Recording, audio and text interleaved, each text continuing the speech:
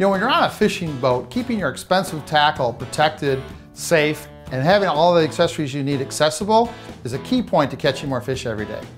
The Traxstech planer board carrier solves that problem by giving us four slots to store our inline planer boards, whether they be offshore or church tackle, positions to put scissors, pliers, screwdrivers, any other tools we may need to handle fish, and a spot to hang extra lures.